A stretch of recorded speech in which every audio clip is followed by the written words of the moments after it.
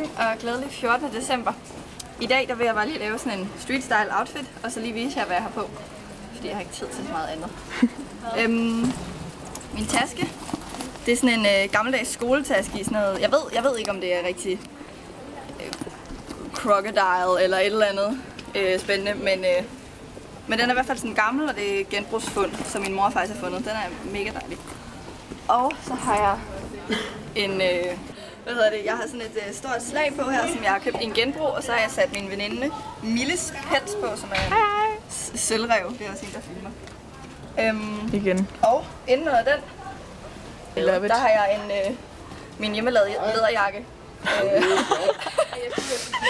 og inden under den, der har jeg, øh, hvad hedder det, den, øh, den velour skjorte, eller velour blæser ting, som jeg købte i, øh, i genbrugen i går, og så har jeg en øh, Millis? Milles øh, hvad hedder det, øh, Sarah kjole ting, og sorte tights og min sko fra Nelly.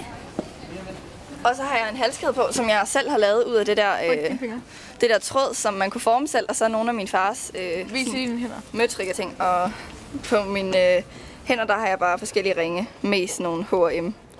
Den her genbrug. Clash. H&M. Hvor er det ikke min, H&M, H&M. Nej, det er det ikke engang. Så det var det for i dag. Hej hej. Et slag.